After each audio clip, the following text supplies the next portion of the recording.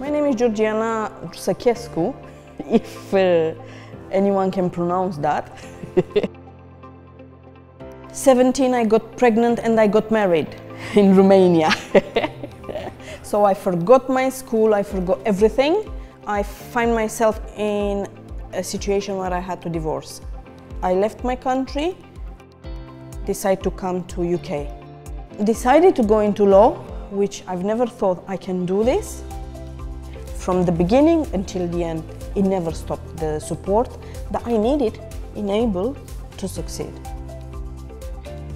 I've managed to become, I could say, a new person. I feel like I belong here and I feel like I'm part of the family.